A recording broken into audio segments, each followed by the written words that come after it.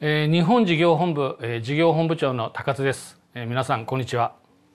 マーケが価値開発し技術を担う R&D が高品質な素晴らしい製品を作ってくれます。ただその素晴らしい製品は良い商品であるかどうかこれは決めるのはお客様です。全ての部門がお客様のことを知って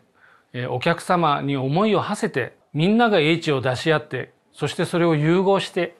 私たちの素晴らしいブランドをお客様の手に届けたいというふうに思ってます。お客様の指示をいただく、これを愚直に行うこと、それは強いては社会貢献につながると思っています。これができる企業こそ未来英語を成長できる。